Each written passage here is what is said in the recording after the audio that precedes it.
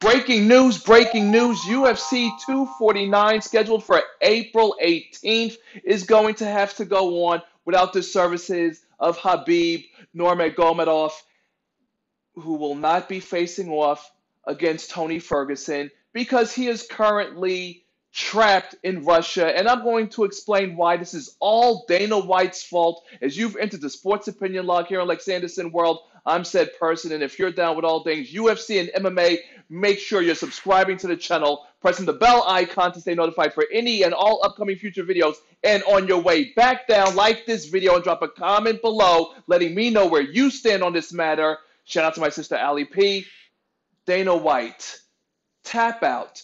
I went with the comical shirt, being the sports fashion icon that I am, because you know when you watch a sitcom and it looks like things are just so funny and going absolutely horribly wrong that you're like, why are they going to try to force this issue? Why are they going to try to force this matter? And time and time again, that is what Dana White has been doing, trying to force his hand come hell or high water to make UFC 249 happen. And it may or may not happen, but we now know for sure, emphatically, that Khabib is back in Russia. He's in his country of Dagestan. And this is all Dana White's fault because when he was training over in California, where we already know that the USA is not sanctioning or having any fights at all, how Dana White was trumpeting on social media and the fucking nationwide sports leader,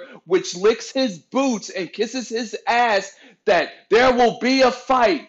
There will be a card. There will be a main event. Blah, blah, bullshit. Even though we're currently in the era of the coronavirus, COVID 19, thanks to another idiot, number 45, where in the world could they have it? Because factually and actually, the entire world is under quarantine. Every time you turn on the news, there's something breaking out about the death toll out there. So where would this fight be held?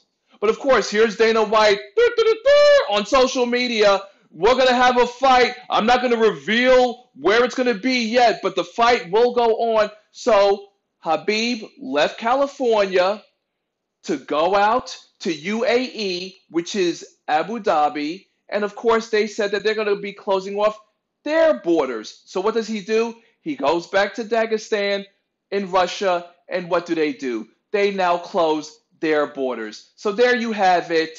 Not one, two, three, four, or five.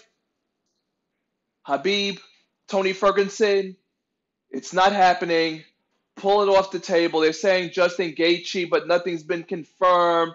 Nothing is official yet. Just give up on the goddamn card, Dana White.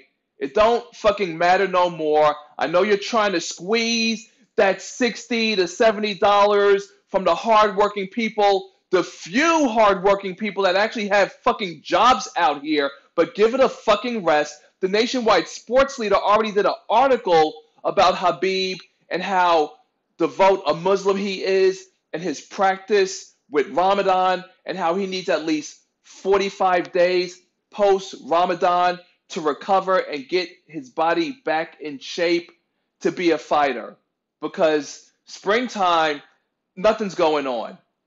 We can hope for summer, but in terms of a fight, not happening. So there you have it. Maybe we just shouldn't have Khabib and Tony Ferguson. Just leave it be. I know it's going to be for the title, so why would Tony Ferguson want to take on Justin Gaethje. It makes no sense whatsoever. Just pull the whole card. Let me know what you're thinking, how you're feeling. Make sure you're dropping that comment below. And most and more importantly, subscribing to the channel, pressing the bell icon to stay notified for any and all upcoming future videos. Because even though the sports landscape is barren, your boy Lex Anderson will be standing here at the helm, front and center for any and all breaking news. Until next time, sports fans, particularly in the UFC MMA world. Lex Anderson signing out.